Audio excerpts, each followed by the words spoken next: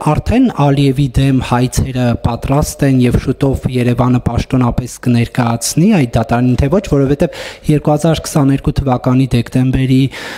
վերջին կառավարության նիստի օրը, երբ այդ նախագիծն էր քննարկվում, Նիկոլ Փաշինյանը որպես հիմնավորում դրան միանալուն նշում էր այն, որ մենք միջազգային հարթակներում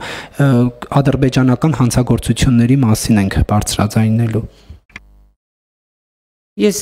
եթե չեմ սխալվում, կառավարության հետ հարցը պատասխանին այս հարցը նաև հնչել է անդիմության կողմից եւ արդարադատության նախարարություն նախարարը մանրամասն պատասխանեց, որ այո, արդեն հայցեր պատրաստվում են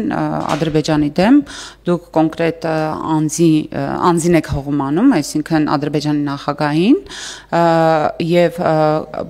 կարծեմ այնտեղ իրավական ինչ որ ձևակերպում տրվեց արդարադատության նախարարի կողմից, կարծում եմ այդ ձևակերպումը ավելի հստակ, որպեսզի ես ես հանկարծ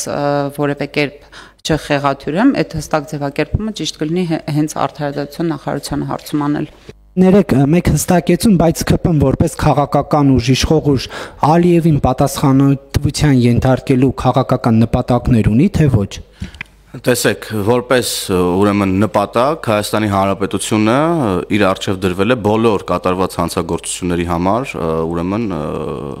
քայլեր ձեռնարկել։ Թե դրա արդյունքում որ սուբյեկտը պատասխանատվության կենթարկվի, դա արդեն իրավական հարց է, այսինքն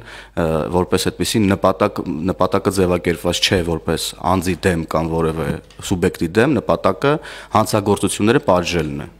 Սա է մեր քաղաքական նպատակը։